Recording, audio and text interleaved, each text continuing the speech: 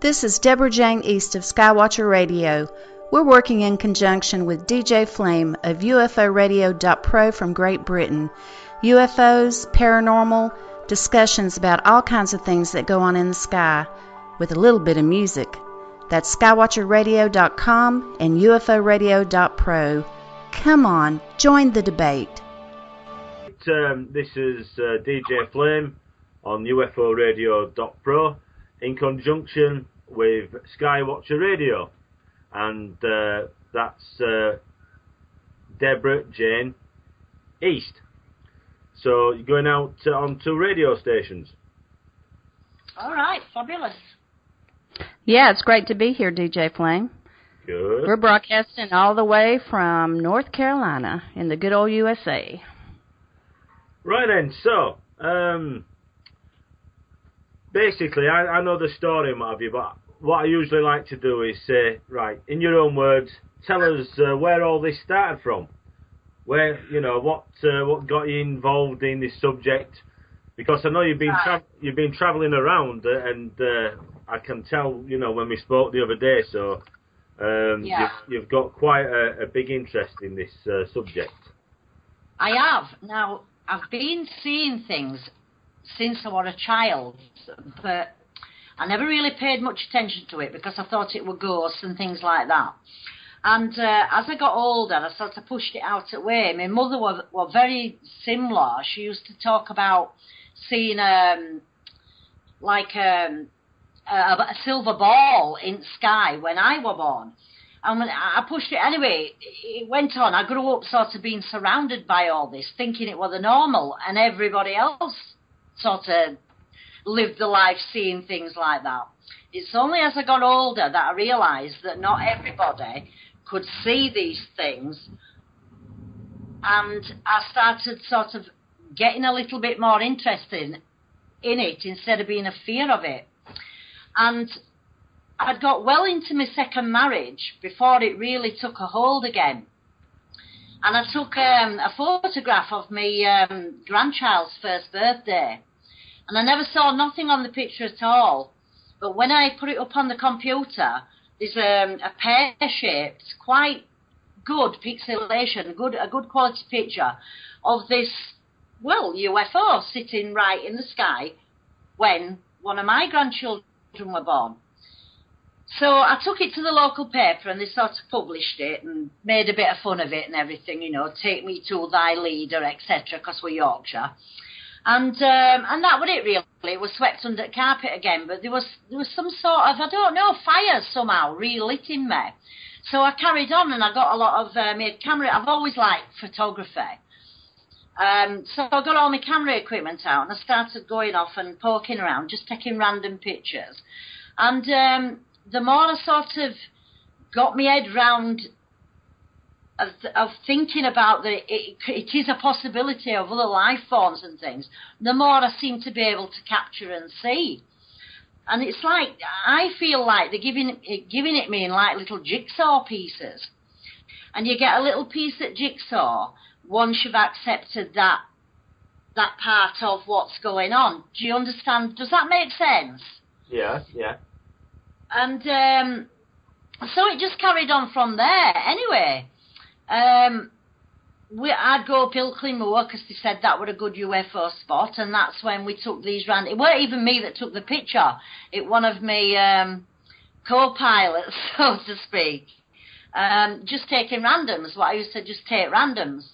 And um, we found that uh, alien picture of Ilkley Moor, and as you know, it's a famous place for um, abductions, and there's US spy base up there as well. So there's quite a lot of um, a shroud of secrecy up there.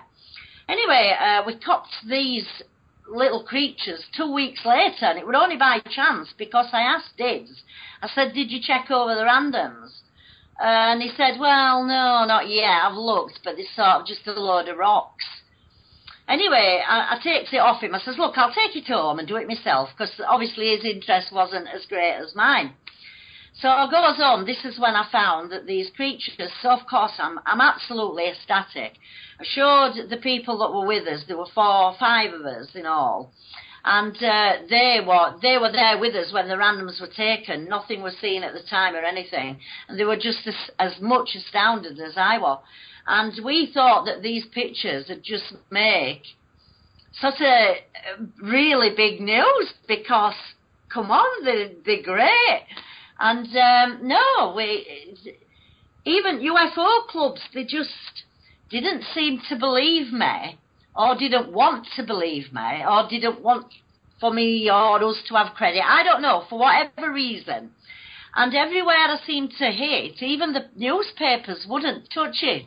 They would not touch it at all. They've put the other ones I've, I've had in, you know, which, yeah. but they wouldn't touch. They wouldn't touch that photograph at all. And, so they were um, giving you the cold shoulder. Then that's really odd. Oh yeah. Anyway, it, it it continued on, and then we got where we were seeing things nearer home where I actually live, and um, even my granddaughters came and they they stood at, stood at the window and they've seen these and they like um, all I can describe them as is um, really big pink round lights. Well, they were pinkish lights. Um, like silver feet. Anyway, it's just gone on and on and on. So we'll get we'll cut to the chase because it could it could take me all night to tell you the, the incidents. But the abduction bit is um, I just went off to work as a normal working day. I, would got my own cafe at the time, so quite busy and doing. And um, I came home as normal, and my husband were working away. I run my bath, got all my, my tackle together and everything like you do. I, got, I remember going in and turning the bath taps and everything off, but I got this compulsion to just lay on the bed. So I just laid on the bed. And um, they were like these creatures came through my window. Now this we have two big windows in our bedroom. I normally don't open this one because if the wind catches it, it just it's too much. So I usually always open that. So there'd be no reason for this window to be open. But this is where these creatures appeared. I couldn't move off the bed, although I knew what was going on. They came through the window. They came round, and the fear was just unbelievable. I can't not. I think the fear of not actually knowing because I knew everything that were happening, but I couldn't move. Not actually knowing what these creatures were, it's such a, it's a mind blow. Could I ask if they were the typical grays, or could you describe what they looked like, Sue? Yeah, they were. Um, now, strangely enough, the the edges of them, they were. It was like I couldn't see them. It were like a liquid. The red were made like a liquid, but the body they were only small, three and a half foot, I'd say, three foot maybe, and they were the thinnest creature I've ever seen. Now I don't know if it was its skin or if it was its a suit, but it were black. Its arms were really long, really long, really thin. And they were black. There were more than one of them. I think there were three. If I can remember right, I think there were three. And then all at once, as they came round the bottom of the bed, they, they did something like, it felt like an invisible veil where they just took away the fear. And all at once, they put like a mask. It was like I I I I can't remember what this mask looked like, but they put it on. It was like cling film, and all at once, next news I knew, it was like clearing of a visor, like if you clear your eyes when you've had got that film in them. And I was looking out at Earth, and I was just absolutely blown away because I'd never seen Earth, but I was looking at Earth, and it was just absolutely amazing. But I was still aware that there were these little tiny creature, alien things with faceless they were, like a liquid stuff. And they were stood behind me, and I was actually wrestling with my human mind, thinking, why can I see the Earth and also see the aliens? And my mind were trying to fight with itself, thinking, well, how can this be possible? And this, the, I can't remember if it came through the sky. I can't remember it coming from the sky, but I can remember this massive explosion. They showed me this massive, massive explosion, and my heart absolutely sunk. And this creature put its hand on my shoulder, and it was like it were feeling my emotions. It needed to feel what I were feeling.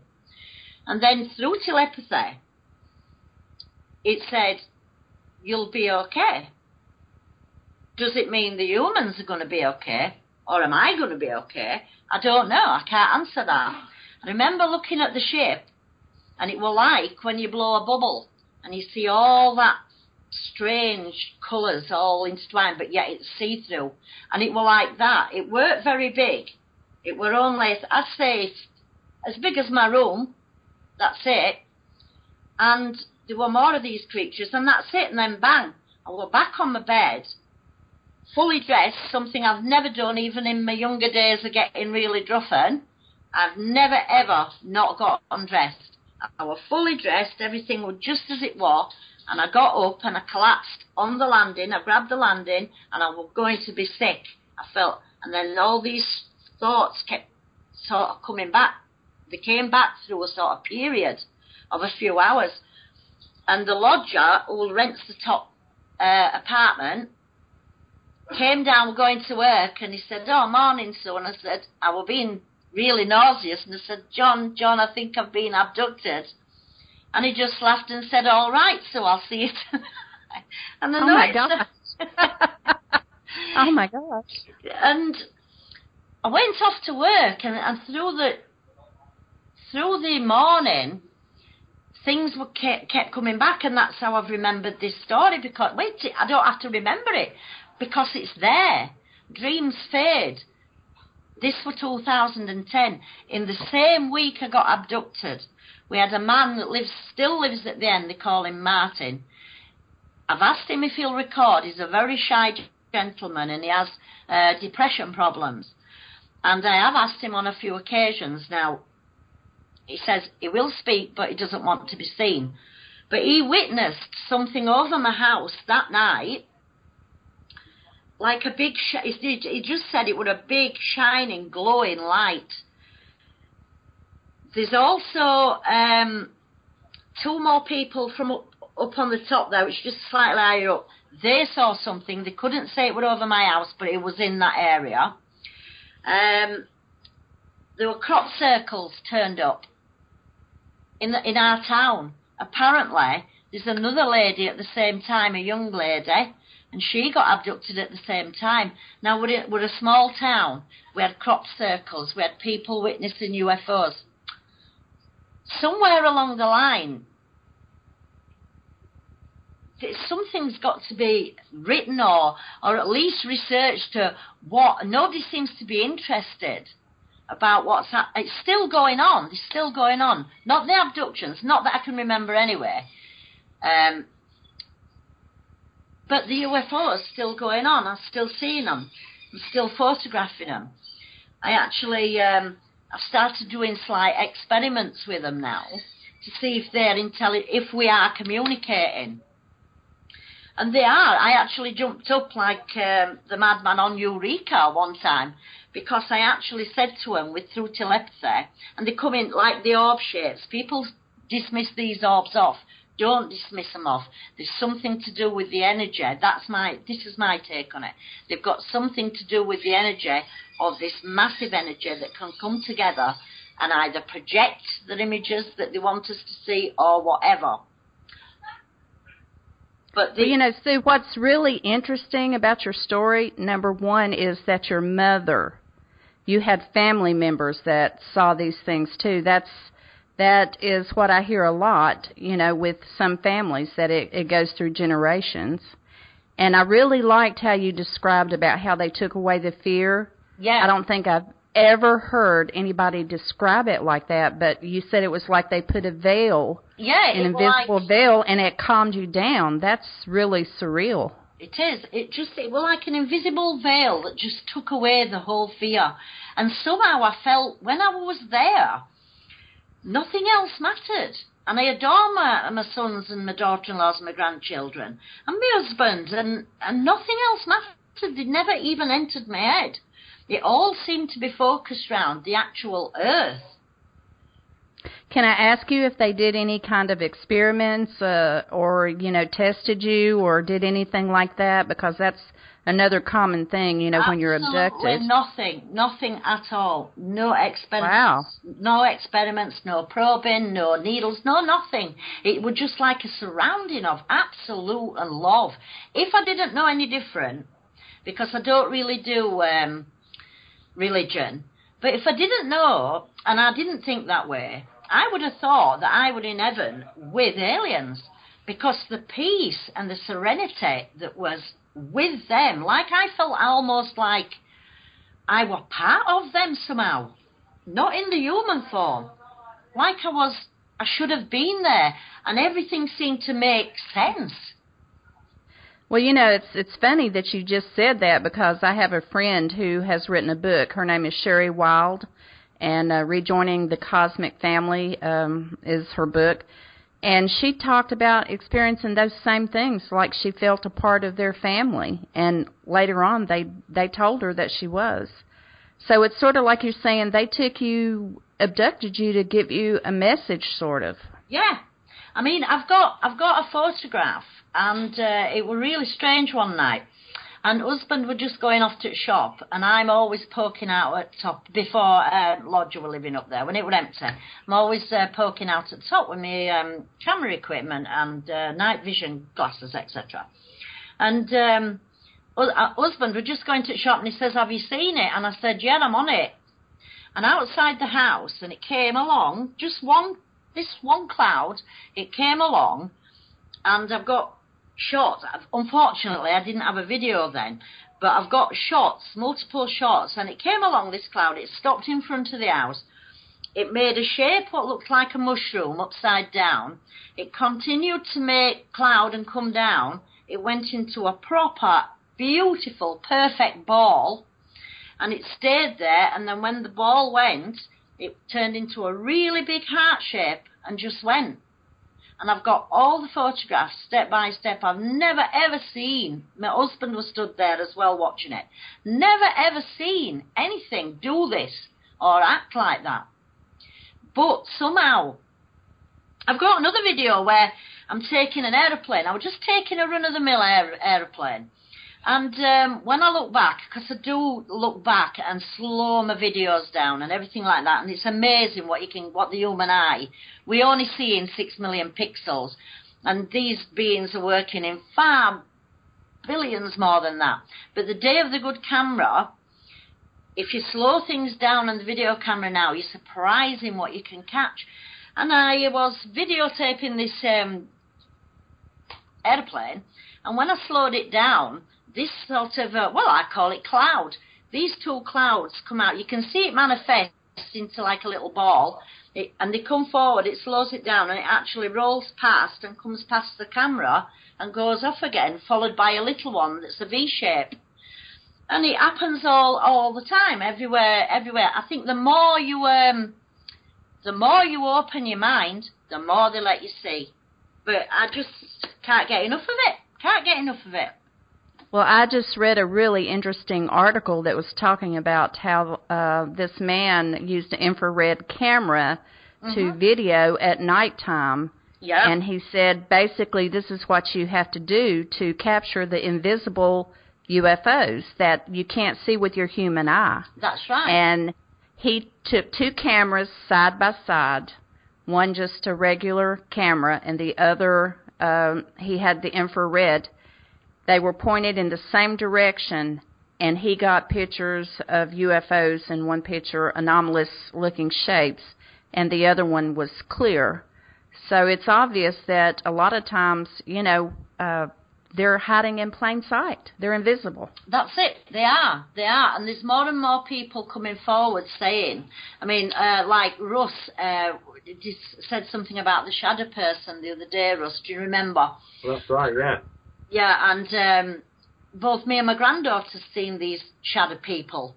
Um, it's just like when they flash past your eye, and they're like that, and they're quite tall. They're really tall and skinny, and they can move like nothing with nothing that I've ever seen. And that that's obviously another different type. there must be quite a few types. But I, I'm, I'm a, this type thing. Is it what they're projecting? This is what I keep asking myself. Are they projecting the type into the he- in the he- mind of the person like us that they you think that they should be like, or is Well, it all you know- one type? somebody told me one time that uh, when they were this was another person that was abducted they were talking to the alien and she said is this what you really look like and he answered back to her no this is just the container that I'm in for you so that you can feel comfortable with me and not be afraid Yep. so when when he said that, that made me think just what you mentioned that they can change our perception of what we see with our vision to be shadow people The funny, Yeah. or to be the creatures that you saw. the funny Yeah. thing is though, if you ask the person who, who um, they said that to, if you asked him or her, if um, if they did feel frightened when they saw um, the, the creature, uh, I wonder what um, I wonder what the result would be. Because if they're saying, well, this is um, like something that's around us, what we use so that you're not afraid. Well, what happens if they are actually afraid? Because then it won't make any sense. Well, you know, the initial thing that abductees uh, usually speak about in the beginning is they're paralyzed. They can't move. And I've experienced something like that. It's called sleep paralysis, where you are aware of your surroundings, but you can't move your hands, you can't turn your head. It was it was so terrible. It was horrifying. And I can't imagine if you were being abducted that you I mean you would have to feel fear and I don't understand how they can make some people feel like everything's okay. I'm assuming it's some kind of a form of mind control. I don't know. I don't know, you see, because I've been looking into. I I started digging into why why me. So I started digging around and I found that a lot of abductees are actually of rare blood groups. They call it universal blood, which is RHB negative. There's um, a massive percent of them, uh, somewhat ridiculous. It's all concentrated in the Basque area of Spain, and there's a few dotted about elsewhere. But they all seem to have this trait with this RHB negative blood. Uh, could that be something to do with it? Because it seems strange that we they can't link our blood to anything on this earth. I can't really say that um, th- that is uh, right or, or you know is. Um, I- I've heard about this rare blood group and what have you, but the problem is, I have you, for instance, have you actually been and had your blood tested? Yes, I'm RHB negative. Right, because I can honestly say I don't know that many people that have been abducted that have actually gone to find out what blood group they are. No, they probably aren't because they're not like me, are they, Russ? Once I get my teeth into something, I keep. I should have been a detective, you know. I'd have been made once I. Well, I, well, I'm an investigator, to be honest, and I've investigated a lot of cases, and it's something that has never really, you know, sort of like, um, never really entertained before. Yeah, well, ask, ask Russ. Start and ask people these abductees, and go put it on net. You'll find that there's a lot, lot of them that got this blood group, and they can't link it. I went into looking why. Everybody else has linked Rhesus Monkey, but this blood group isn't. So, like a lot of other people have said, well, if it isn't linked to anything on this earth, then shouldn't the scientists be looking somewhere else because they're going to find the answers? But they haven't. They've sort of just, oh, never mind that lot. Let's just brush it under the carpet. Now, I never knew that until I started digging around. But you did say that they didn't do any kind of medical test on you. None whatsoever, no. None whatsoever. Were No. and were you the only person in the ship at the time this was happening? Yeah. The only human? Yep, just me and them. So how Yeah. many times have they actually been and, and actually contacted you? Well, the abduction, I can only remember the once of. But going back when I was a child, who knows? What I'd cast, class off as a dream or something could have happened. I mean, a lot of us went camping um, a couple of years back down at um, a local beauty spot called Appleyard. There were 20, maybe 25 of us, children, everything. and something came very low across the top of us, and we all sat there with cameras and videos, and we all looked at each other, and then Mick, Joker of the pack, said that were an aeroplane, and we all went like that. No, it weren't. No, it weren't, and it came really low. And then within minutes, I said to my son, "Gosh, it's got dark." None of us actually questioned had we got some more missing time there because it was mid-afternoon one time and suddenly it was dark. Nobody questioned it. Were they in this blur? Did we all saw the craft? It was massive. But why didn't you? You know, like you said earlier, you know, when you've got your teeth into something, you want to. So how comes you never went looking for the missing time? Well, when I question the rest of them, they just start laughing and think it's funny. or whatever. So yeah, yeah, you might be right. Yeah, yeah, we might be right. That's it. Because if you're not interested in the subject, you're not interested. So with me nattering, my, my friends would just tell me to bugger off, basically, or bugger off, sick of hearing it, so don't know, might have been abducted, don't know, don't care. And that's the attitude. You know, um, I have questioned them, and that's what I get back. So. No, but Well, it. Go ahead, Russ. what I was meaning to say is, you know, you you don't really need to have to question them if you've got a watch, you know, and sort of like you know what time it was when you. Yeah, I know, Russ, but I didn't. We we we we were all playing with children. We've got a bonfire. We're getting wood together. This incident happened while we were all sat round having a beer, and then all at once it was coming dusk. We sort of all had a bit of a chuckle, carry on having a beer, and that were it. And then afterwards, when I've questioned them and said, "Did you think there was something funny? What did you see? Did was that an aeroplane? No, it wasn't an aeroplane. So, um, so I have questioned them, but we never took the time. So we knew, we all knew it was sometime in the tea time area Yeah. um, to come in dusk. So I bet I could question them again. Well, I'm interested. Uh, you talked about when you had your abduction that other people in your community spotted something in the sky No, they spotted it over the top of my house. over your house. Yeah. Wow, how many how many different people saw that? Uh, there's two from up the top, Michelle's uh, brother and his girlfriend. They weren't. Sh- they knew the area. They couldn't see it on the roof, but the guy at the end of the road who looked straight at my house saw it, it every night. He used to go and take his grandma, uh, go up to his grandma's and put her to bed. And you could set your watch by Martin, 12 o'clock on the dot. He got his scooter out and he went to his grandma's to put her to bed. And he were there, and he came on on the Saturday. and He were actually speaking to my husband, and when he said, "Oh, you better tell her," then I thought something were wrong with the children. I says, "Well, what's up, Martin?" He said, "Oh, I'm not, I'm not, I'm not being funny." So he says, "But when I went to my grandma's the other night, he said there were a big, massive white bright light over the top of your house, dead over top." I says, "Did you get a video? Did you get a picture?" He said, "So," and this is just the words he said. He said, "So I'll be quite honest." He said. I was shitting my pants when I seen it because I didn't know what it was. He says, and I absolutely, never mind getting a, a picture, he was absolutely petrified because he was seeing something that he'd never witnessed.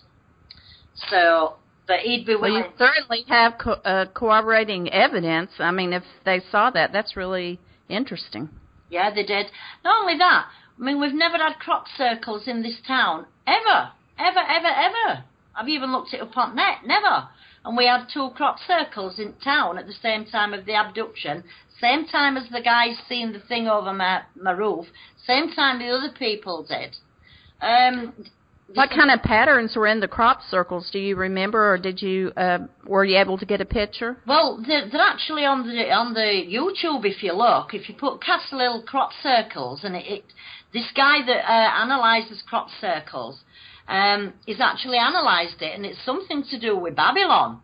Believe it or not, me not being religious, but it's something to do with Babylon, and it tells you all about it on um, YouTube and what these circles mean. It just looked like three circles or four circles, but apparently because they were spaced at certain parts from each other, it was something to do with this um, symbol of Babylon or something like that. You can find all the details out on YouTube. Right. But it's strange that there's two crop circles in this town that's never been. And then there's another girl pops up. We're only a small, small town. Um, and pops up and says, yes, she's been abducted by the Greys in 2010. Experiences very, very near mine. Very, very similar. Was she uh, similar to the same age that you are? No, she's um, in her 20s, whereas I'm in my 50s. Only just, though. Wow. That's really, really interesting. Uh, did you ever notice if there were any newspaper articles about sightings at that time, or? Um, well, they would have been, but um, they sort of brush it under the carpet a little bit here. Um, and if they do print anything, they tend to ridicule you for it. So a lot of people don't. Oh, we got space jelly as well. I forgot to tell you that. We actually got space jelly turning up in the village as well. That's what they named it.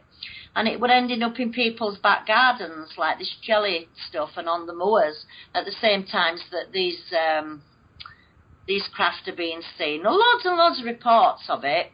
Um, crafts being seen, this ab- these abductions that's gone on, crop circles.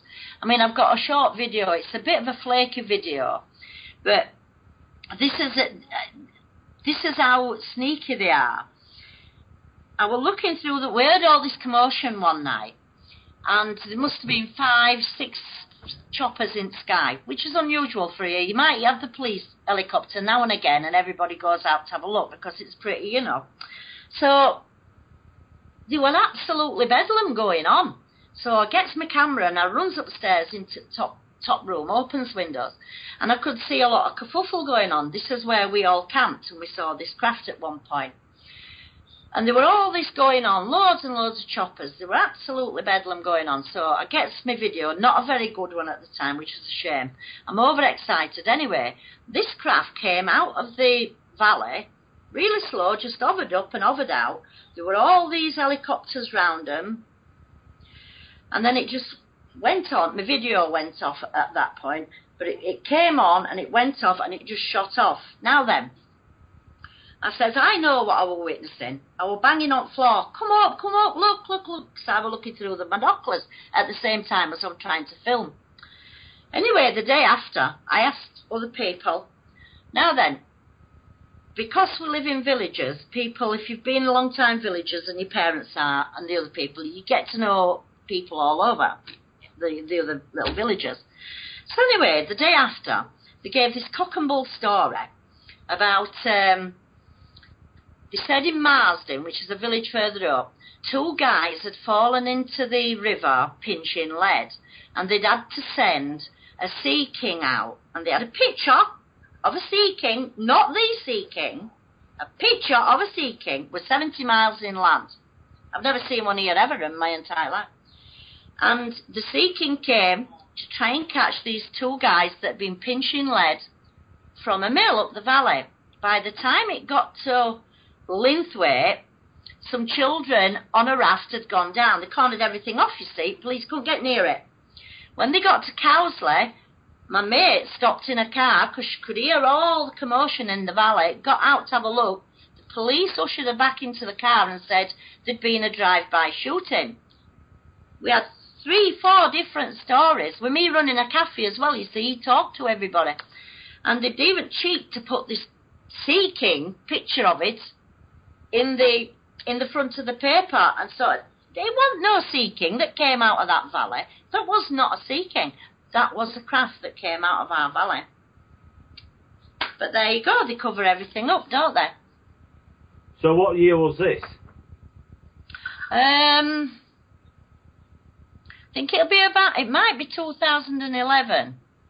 Right. I could I could find it in archives that um, I could find the exact date for Huddersfield Examiner because right. it were in there. One lady actually complained that it had uh, this sea king I actually took a picture the day after as well because uh, I think it was um, it was autumn time and leaves were ready. A good breeze had brought them leaves down. Never mind seventy foot span on a sea king. And I went down and took some pictures of the river and the canal that runs parallel to each other of this sea king being down there. There wasn't even a leaf that had trembled through that valley. So I know what came up that valley. Anyway, like I said, they won't believe you. They don't believe you. I know what happened. And other people have come and said, "Ain't it funny that? Why did they say it was somebody um, pinching lead? Why did they say it was a drive-by shooting? Why did they say? Because they didn't want them near, so they just made the story up. Because they didn't want anybody. One lady rang up and said she wanted compensation because it had lifted a complete uh, big trampoline and uh, crushed this trampoline to pieces in a garden. I don't believe Wow. that. I don't believe it. I don't believe for one minute that it did, um, because there wasn't even a leaf shook the day after when I went down. Sue, do you remember if there were any missing people reports around the time you were abducted, or have you noticed in the paper about any missing people?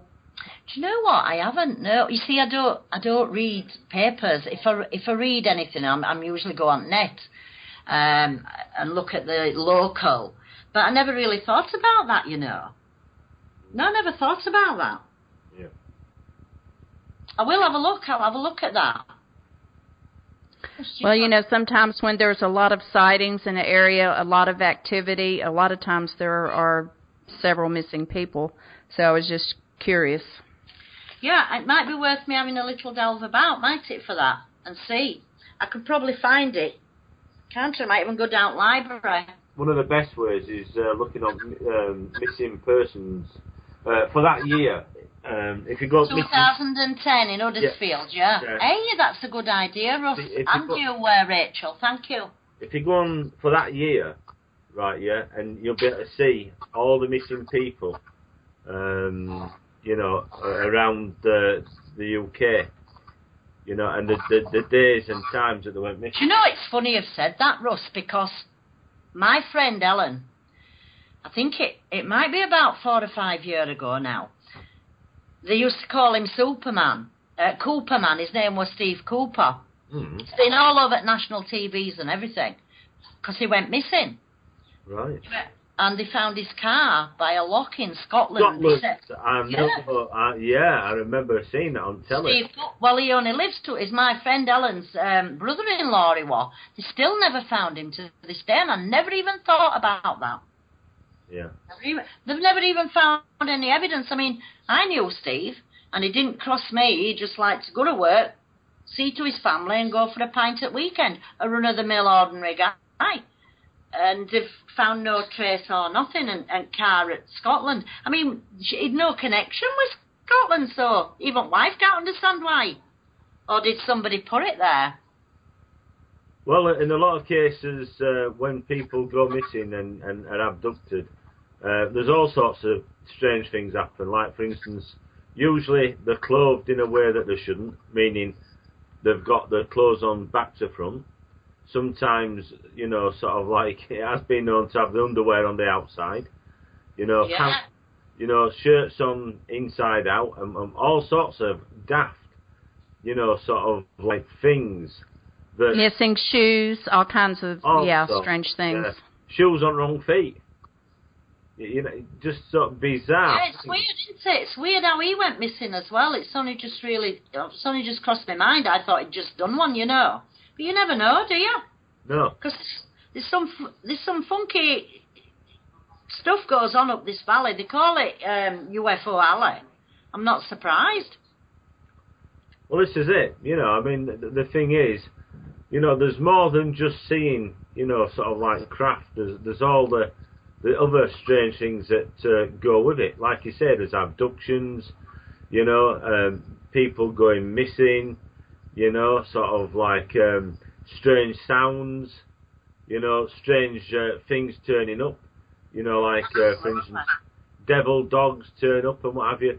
Sometimes apparitions. Sometimes people, you know, sort of like get um, terrible, um, you know, sort of like feelings Yeah, um, of, you know, foreboding and, and what have you. yeah. All, all sorts of very, very strange things happen. I think some. I'll give you I'll give you an example of one strange thing that happened at a house that we used to live in where we saw a UFO. My father was sitting on the front porch with the landlord and it had a tin roof and everything and all of a sudden an apple came and bounced off the roof. And Mr. Tabor said, Fred, did you see that? That was an apple. But there's no apple trees around here. So they walked all the way around the house to see if there was anybody there because me and my sisters, we'd all went to town with my mom. Well, they went and sat back down and another apple five minutes later bounced off the roof. And they walked around again. There was nobody there. So, you know, my father's not one to make up stuff like that. So that certainly was like, you know, odd. Yeah. Yeah, I can relate to that as well. I mean, not just UFOs, but many years ago I lost one of my children. And uh, one of his favourite things were he used to absolutely love his 20p's. Anybody, uh, shiny 20p's. And it was a few years later when we moved into this house with my second husband. And we were sat in the back room in conservatory there, and a 20p dropped out of the, just out of the air from nowhere, rolled across the floor, and it was the 20p that belonged on his grave up at the top that were outside with his um, date of birth on, and we took it back up. So that was strange.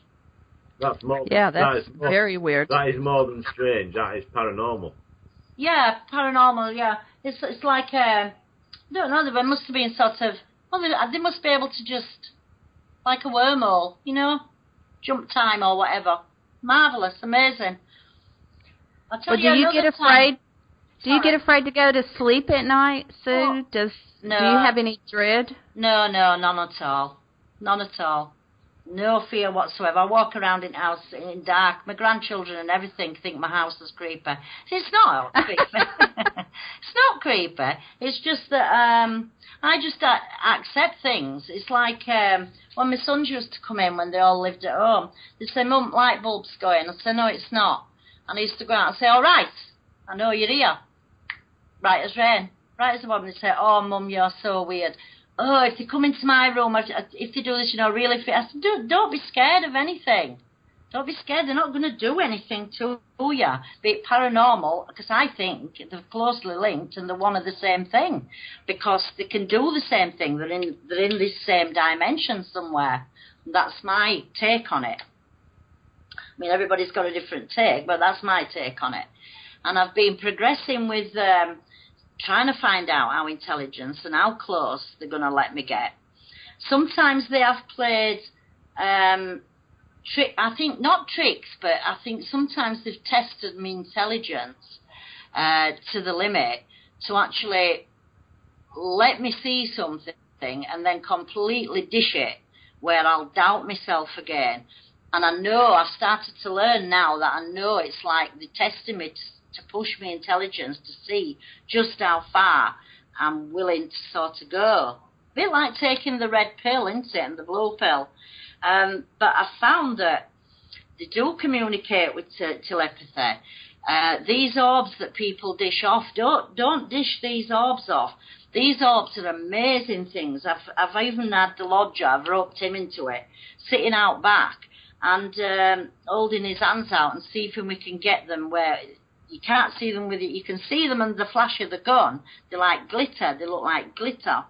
And um, when you get them, and I actually asked them, and I said, through telepathy, I didn't tell anybody. I did this all on my own. I went out, and I just said in my mind, I said, right, okay, if you are, if your, your orbs are some sort of intelligence that can form or um, project or whatever, are we communicating? We need to know that we're communicating. And um, I asked them to go green. I said, can you go green then? Then I'll know, like green for go. And uh, I came back in and loaded up the pictures, and I didn't say anything, and I just zoomed in and I just turned it round to my husband, that's not really particularly interested in in UFOs and things. He just don't like it. He says if they come, he's going to point to me, and um, and um, he actually sat on the settee, and I said, "What colour are those?" And he said, "Oh, they're weird ones, aren't they? Why are they green?" I was ecstatic. Thought, we're doing it. Another time I were upstairs in attic again, and my cat always sits with me, little Bitsy. And um, I'm taking photographs. I've actually sent you one of these, Russ, of that cat. It's like a picture of a cat um, in the sky.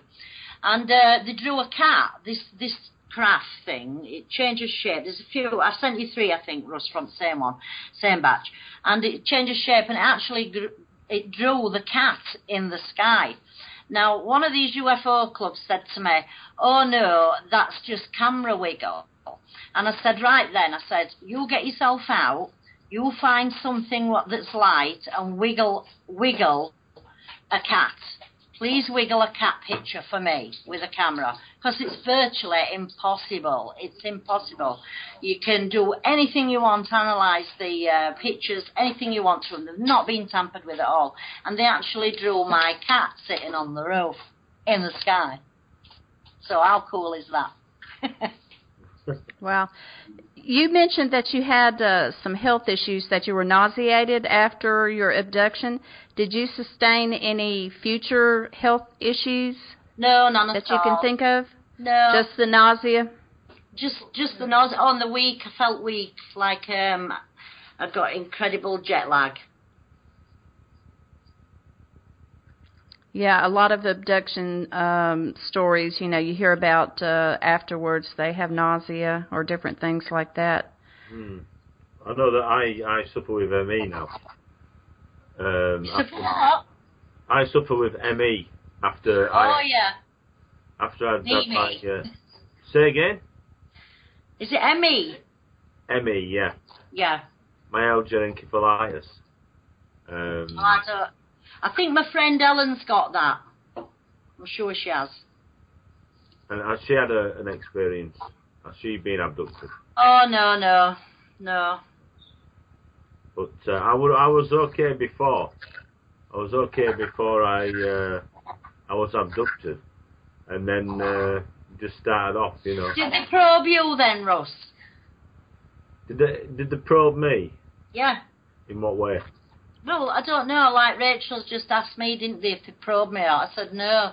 Uh, I've had all sorts of strange things uh, happen to me, to be quite honest. Uh, nothing like the laying down on a, a, a a bed or you know one of these, um, you know, sort of like uh, when you go into a doctor's uh, room and what have you.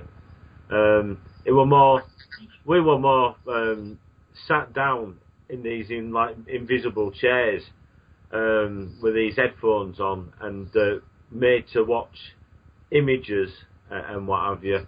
And uh, they taught us things, um, which was like through hologram. You know, like from uh, watching Oh, a yeah. hologram. Um, and sort yeah. of like that kind of thing. Um, and there, there was a time when uh, something was put in my throat, down my mouth, um, which I didn't like. That were at the first, um, sort of like uh, the first time, um, and uh, with people walking around. I can't really remember much of that. I think I've, I've I've blanked it out, and this is why I don't like go to you know sort of like see dentists or anything. Um, Yeah. You know, but um, nothing as such. Have where- you ever had a total regression, Russell? no, no. Because I haven't really needed it because I've remembered most of all the other things when they come and take us, uh, the, the the and booters put us into uniforms and then the takers. I know how we travel and everything. Um, I know that uh, the places where we've been, uh, the users wearing military units and the users as soldiers, and um, I know who, who takes us. Um, I know like the the four different types, um, the officer class, um, you know, sort of like the takers, and I know that we've done some pretty horrendous things. Uh, I, I, I can honestly say, Hmm. you know, as, sol- as soldiers, you know, we've, we've uh, obviously done things what soldiers do, which isn't a nice thing. No. Well, you know, I've seen uh, videos and I've also heard people talk about how many different species of aliens uh, that there are. And there's, you know, several. I mean, I can't imagine of that there would be that many, 57 different species. But, you know, people mention uh, the reptilians and the grays and the tall Seen a whites. And, yeah, so there's a lot of different types, and I'm sure the personalities and their um and their agenda is all different. Where did you see the reptilian? In the back garden, and my lodger can vouch for me as well. It was done in the flash because I usually tip my. I've got a Nikon for the good shots, and I tip my Nikon up because it's 24 million pixel. And in the flash, I were facing forward, and the guy that has the top flat was stood at the side of me. And in the flash, it would just stood there right in front of me. Now, my steps, I've got three steps, so I measured them. It'd be about three and a half foot, I would say. And it looked like, at the time, I had an iguana. It looked just like an iguana, but bigger, and it was stood up. I can't remember if it, I think it, it I can't remember, but I think it may have had some sort of, like, leather, I don't know, like, I, I don't know, it was weird. But it was there in the flash of the camera, and I must admit, I absolutely pat my pants, and I ran inside. At the time, we had some, um, some uh, solar lights in the back garden, and they had worked for quite a number of years because they were full of rainwater. And at the time that this reptilian thing appeared in the flash of the camera, the whole of the back garden lit up. The guy who has the flat upstairs didn't see the reptilian because he was busy rolling a fag, but he did see all the back lights. And he said, Bloody hell, what's going on? What's happening? I'd already left him at this point and gone in the house because it just absolutely blew me away. I did, I absolutely pat my pants. And I came in and I said, I'm not going back out there. And I told him what I'd seen. And he said, Oh, come on, let's go back. I said, I'm not going back out there. I just can't. I just, I needed a cup of tea. I was in shock. So he went back out and I said, Well, I'll take a photograph of you standing where I was and uh, you go up there and take the photograph. And I took the photograph. And that's the one I sent you, Russ, with John head on. Right. That bar, that bar's the swing at the top and the privet. And what we got, what it looks to me similar, if you do it in different tones, it looks to me a bit like that famous painting, Scream. And it was just going off because I stood in the house, I wouldn't come back out. And that's the only reptilian I've seen, but it were there, looking at me, not above six inch away from my face. And it looked like an iguana. And how, how That's too it? close for comfort. So how, Yeah, I thought it was too, Rachel. how, how tall was it then? Um, judging by my steps at the back and eye to me, I'm five foot four, and the steps, so I'd say about three foot, maybe a bit less. It might have been two foot something, but not much more than that. And it was Well, it's, it's certainly interesting that there is an unseen world, possibly, that's all around us that we have a, no idea that's going on. Yeah, I think that's right. And like I say, I think the more that you open your mind and the more that you're sort of comfortable with what's happening, the more that they let you see. Can I That's ask, mine. Can I ask you Go on. something now, so, uh, have you ever done anything like um, um, any training in your life, like martial arts or anything? No, Have you ever done anything like yoga? no, Have you ever done anything um, where you'd um, you do meditation? no, I don't take any man-made pills whatsoever. No, meditation. Oh, meditation. I said medication. No. uh, no, no, I haven't. Right. Okay. Um, have you ever um, delved in uh, to um, magic or anything? No, Uh, Ouija boards? No, definitely not. Right. I won't be opening gates of hell for anybody. Them Ouija boards. No, not for me. Right. Can I ask you, how did you feel about UFOs in general before you were abducted? Did you think it was just like something that Hollywood made up, or did you No, I, al- no, already have like a preconceived idea? No, because when my son was born, the firstborn, this is how me and my mum got talking about it. I went up and told my mother what I'd seen, and she told me then that she'd seen the same thing when I were born. And then a few years later, we were down what they call, they used to call tip. They've planted trees on it now, but at one time, used to be able to take the children tobogganing, which we did, me and my sister. And I remember another incident down there. Um, I'd got about three children then, and while we were all sliding down hillside, this uh, great big, um, well, spacecraft came over, silent, with loads and loads of lights, strobing window lights. And it came over, and I was absolutely astounded. And I'm saying, wow, look at that, look at that. And I just assumed that everyone else had seen it like I had, and it wasn't till years later when I was talking to my sister about it, and she said, "What are you talking about?" And I said, "You know," she said, "I remember playing down there with children and everything. I remember." Oh, she said, "But I didn't see no spaceship." And I actually thought at one point, I'm I losing my marbles?" You know, I'm a psychotic or something. And then it just carried on and on and on. There's, and there's absolutely stories all through my life. I mean, right from being a child, or about two year old, this uh, mist stuff used to come into the bedroom and uh, swirl on top of the ceiling and make things that a child could relate to, uh, giraffes and things like that. And um, I, I was whispering at my mother, and um, my mother being a little bit like that herself, she changed bedrooms uh, because I kept going on about this year mist and things coming in.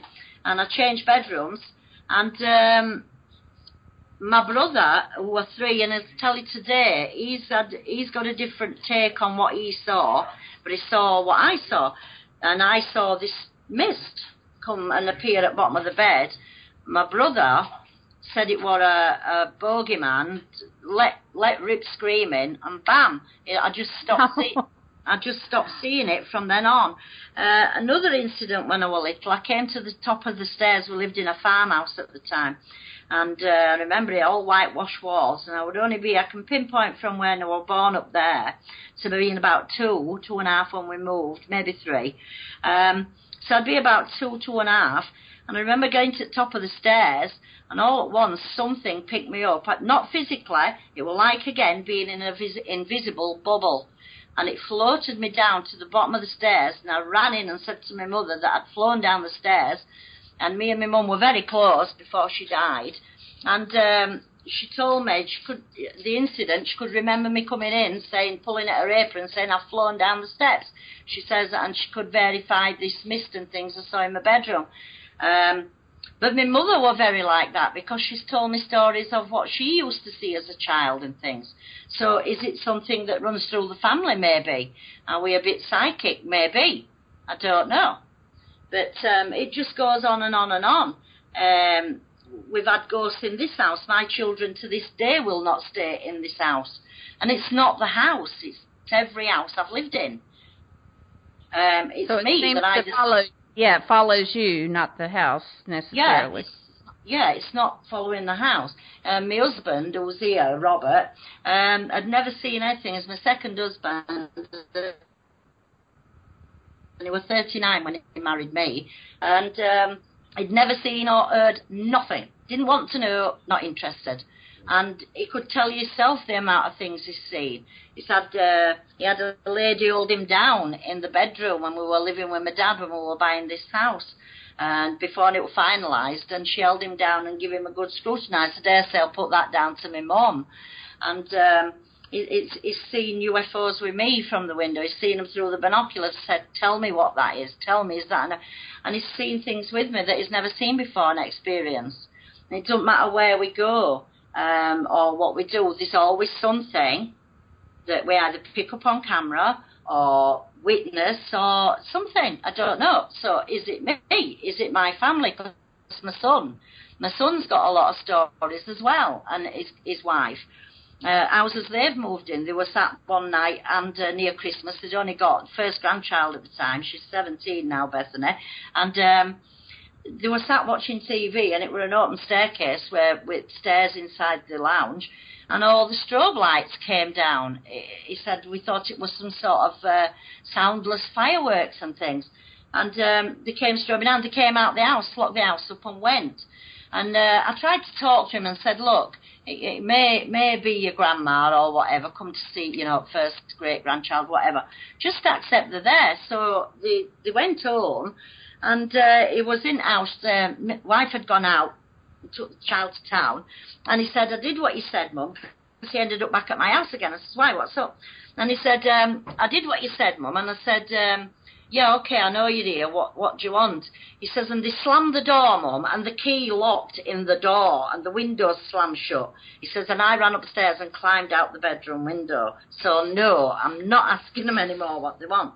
They've moved into this other house and still on occasions now they hear strange uh, things going on in house, and uh, the children do. My granddaughter Leah can actually come up into the attic with me, and we've actually summoned them. We've actually, I've, I've said, hold my hand, and if you want to see them, ask them. And they've appeared in the sky just outside here, like they were like a, a really goldy pink, a pinky ball, like light. It's bright, but it doesn't hurt your eyes. Uh, my, my, grandson came round with his friend round the corner. They ran in here. He's 14. In fact, I've got the, I've still got the pictures. They ran in here and said, "Oh, quick, quick, Grandma, get outside. There's a spaceship over your house again." So I went outside and I caught a little bit of it just as it were going there. And I said, "Now then." I said, get over there, and I both gave them a pen and a piece of paper each. I said, don't speak to each other, draw it, write it down. What did you see? And they're absolutely identical. So my grandchildren and everybody, you know, are seeing it. So what's that about? well, it certainly does seem to be following your family, and I've heard that before. Yeah. So just keep your camera ready. As that's all I can say. Keep that's your what camera I do, ready Rachel, and on the doc- ready. Even and in the documentation. Mid- even in the middle of the night, I'm there, waiting, ready. so, So- yeah, and we so- go off in camper van a lot at times, and uh, it's nice on the summer now because uh, I went off to watch uh, the Great Orme Skywatch, and um, we did see a couple of little little things quite high up because it was a clear night. And um, the guy there, really nice guy, Jay, and he said, um, "Oh, it's been really good tonight, so and everything, hasn't it?" And I said, "Well, yeah, if you sort of want to see dots in the sky." I says, "But where we live, you know, they, they come much closer. I've got another short video as well of uh, Didsy and his uh, son. This is another friend uh, up in Attic where we look, and um, they watched them over what we call." Um, Longwood Tower here, and they, there were three of them all together, and they were like playing, and they were absolutely astounded. The guy in the attic who's renting attic now um, flat, he's seen them. His brother's seen them. It's just wild round here with it all the time. So, UFO Alley. That's a good name. Yeah. and if you look on Google Maps, they've even caught one on Google Maps because I've put it up. There's even a UFO at Scammonden Dam. Now, if you look up Scammonden Dam, they say that there's a secret underbase, uh, underground base there. It's the only reservoir in the United Kingdom that's actually got steel enforced at the bottom of it. There's not a right big read up or write up about it, but you can you can. I had a little delve in and I found out. I didn't know this. I've lived here all my life, and um, there's uh, a few little stories going back as well about Scammonden Dam, um, about people when they visited the grandparents and things years ago. Used to call them pixie people that lived on the hill. Now we take the dog up there walking, and I also go up um, UFO spotting and I've got a short video of these like uh, lights on the on the moor uh, by Scammonden Dam at side. They've never seen them before, and uh, my husband was with me and the dog at the time, and uh, I got it while well over at the top of the car, and he said, my husband said, well, let's drive down to the bottom, we'll get a better view. By that point, it had gone, but there were two lights, and they were same same sort of material, let's say, of these ones that I'm seeing.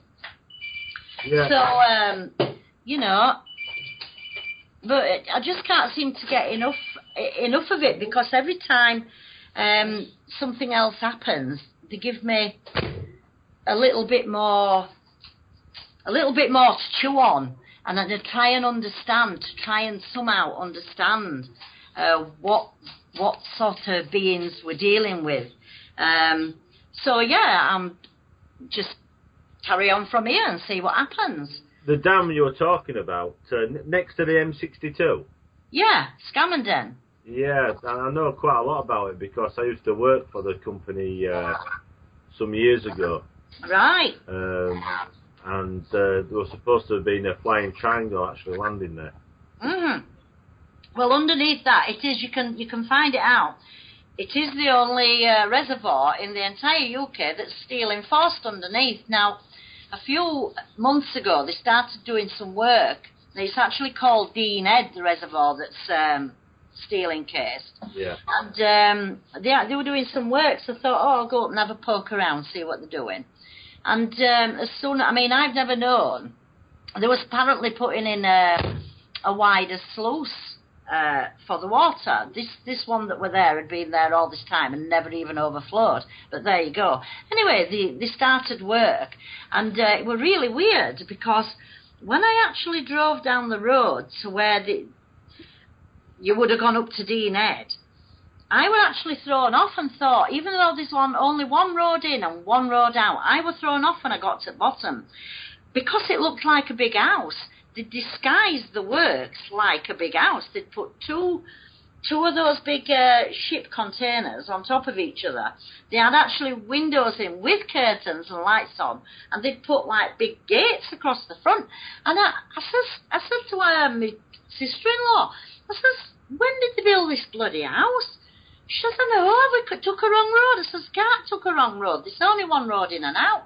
And then when we went round and back onto Hillside, and I got my binoculars out and had a look, um, there were Stevensons and big ship containment things on top of each other.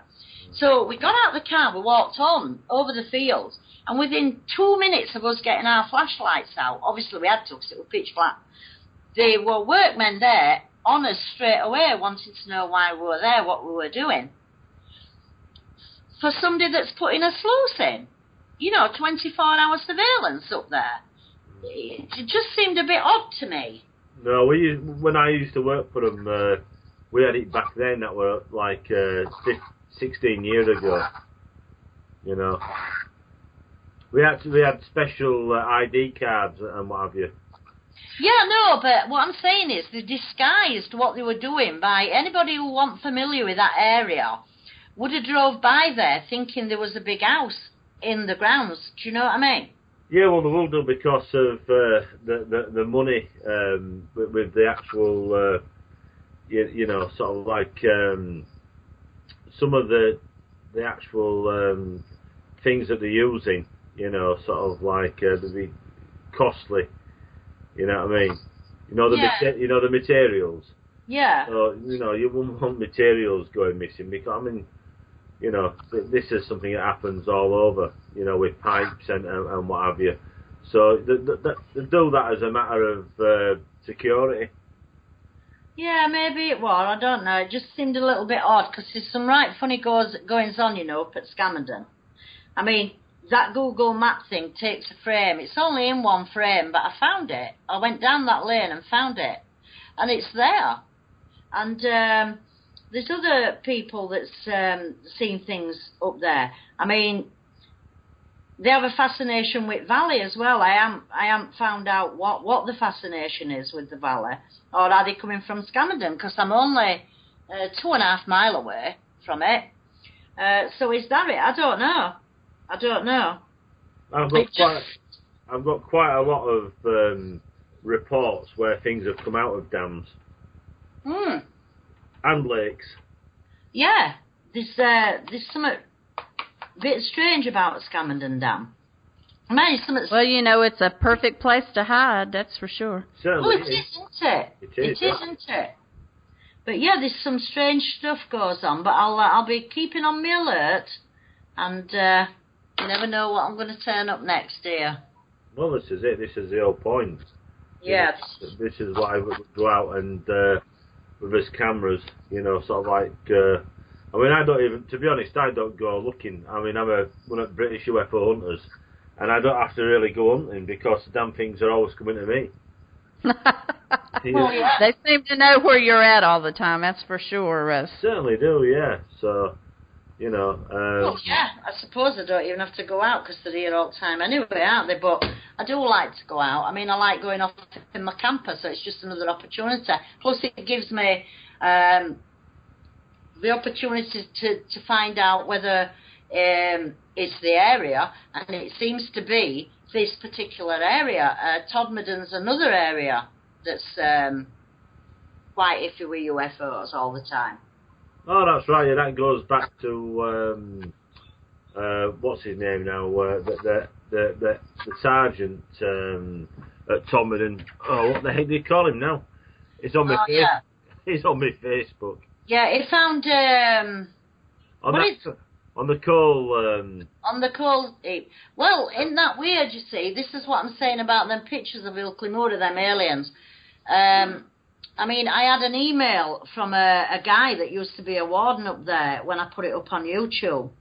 And uh, he sent me this email and he said, uh, listen, next time you come up um, Ilkley, he says, uh, get your equipment and I'll take you to some places that'll make your hair curl with what goes on up there.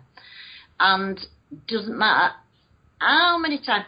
Three times I've been shut down from YouTube. And I, I had 3,000 people following me and uh, this, you know talking to each other etc and uh, got completely shut down. I couldn't get back onto it so i had to make another one up and start from scratch.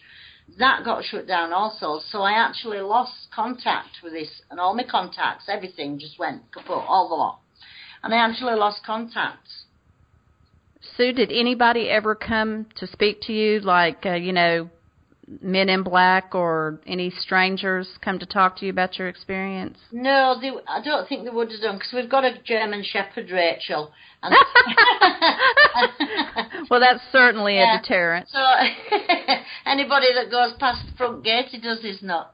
So, but I wouldn't have took no nonsense from them anyway. But I do think, Rachel, that they are. What I think they watch everybody and anybody that takes an interest in it. I, I really do believe that.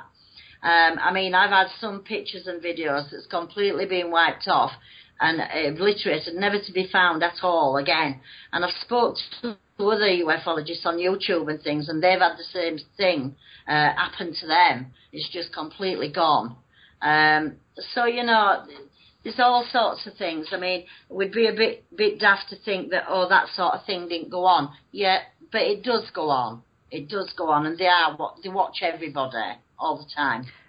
Well, I think they do have a specific interest in certain people more than others. For instance, you know, uh, Russ, you know, still has abductions. He still experiences, you know, the shadow people. Mhm. It's not. It's not just a. Uh, for a lot of people, it's not just a, a one-time thing. Yeah. And I think they have a reason for doing it. Otherwise, they would just be going random and you never get the same person twice, you know, because there's a lot of people in the world. Yeah, that's it. Yeah, I know. I mean, like I say, I could have had it before, but I can't ever remember. But this this time, I just it's like it were yesterday, and it happened, and uh, they never did anything. I can't believe they were just so loving. The when I were with them, it was just just absolute tranquility. There were no thoughts of hatred, no thoughts of family, no thoughts. Just a, like a pureness, just a pureness of peace with them. This is the ones that I were with. I'm not saying they're all like that, but that's that's what. It, you know, it almost sounds like uh, what you're describing is like a near-death experience because, I, you know, I had that happen to me one time, and uh, and I got some of those feelings. It's just like uh, total peacefulness, and yeah, you know, when you talk about it, that's what it reminds me of. yeah. Well, I've read about the near death, and it does remind me of it, and I've got to agree with you on that. But I was actually seeing the aliens, and I seen them when I was with them. So it, it, I hadn't died on the bed. Do you understand what I mean? Yes. Um, but the experience was very similar, Rachel. It was. Uh, but it was so much. But they, they showed me. You see, can you hear him now? Can you hear the German? That's yeah, that's the German Shepherd. That's the shepherd. a- if aliens are coming, they're in trouble. his dad's outside talking to. Over, oh, talking to um, his friend, so he's doing his not. Yeah, he's doing. He's going. Funny enough, as well, you know. Uh, I took Berlin up to um, the crop circle. And, uh, he, he didn't bark, but he ran round into a particular spot and he was scratching. And I wish now. All right. Um, I wish now that I'd really dug where he were scratching because it was just one particular spot on the crop circle. But I didn't. I just pulled him away and um, took him home. But I wish now I'd a, I'd a had a little dig there. That's one of my regrets. Has there been any recent crop circles? no, there's never been none before, Rachel, and there's never been none after. Wow. So that's strange, isn't it? Yeah, it really is that, that all of that happened that coincided with uh, your abduction. Mhm. Plus this other girl, it took me four years to track this other girl. I had no knowledge whatsoever, and it was when I joined um, uh, Birmingham UFO Club, and uh, he wrote this story, and I actually ticked him off, and I said, "Hang on a minute," I says, "Why are you writing my story and changed the name?" He says, "I haven't changed the name, so." He says, "This girl comes from Huddersfield." Uh, and she's she had the same experience, same abduction, same year you did. So I got in touch with her. I've actually met her, uh, Kate Moran, they call her, and I've actually met Katie. Unfortunately, she had all her little babies with her, so she didn't have a right lot of time to chat and talk. But um, she's going back to college in um, end of August, I think, and she sent me an email saying that we will, you know, have a meet up, me and her, without the children, and we'll have a chat. So that should be interesting. You'll have to hook us up with her because that does sound very intriguing. Yeah, I'll have to ask her though if she will do, uh, because um, she seems a little shy girl. But I can send her an email and I can ask. Well, that'd be great. Yeah, 'cause she's she's a nice girl, uh, and it was the Greys. Uh, now she thought she told me she thought she was dreaming. It felt like a dream to her, uh, and she said these uh, tall Greys came, but they weren't tall Greys that came for me. They were small with like um, thin arms and like black either black skin or black suit, but they were faceless. They were like. Um, have you seen the Terminator when that Terminator turns into that liquid? Yeah. Well, that's what the faces looked like, like it were made out of some sort of moving liquid. That's what it looked like to me. That's what mine looked like. But, funny enough, hers were faceless. They weren't like liquid, but she said they were faceless and they were tall greys. So that was quite strange because it were very similar to mine, faceless. Well, you know, somebody else uh, shared an experience with me, and they were talking about when they were driving in their car and they looked up ahead and they saw tall men, Mhm. uh, sort of dressed with uh, coats, heavy coats, and uh, she said I couldn't see their face. She said they were almost faceless, and when I thought about it, I think they sort of masked what she was really seeing so she wouldn't be so terrified. Yeah, that's probably right, Rachel. Yes, I think that's right. I think that's probably what they are doing.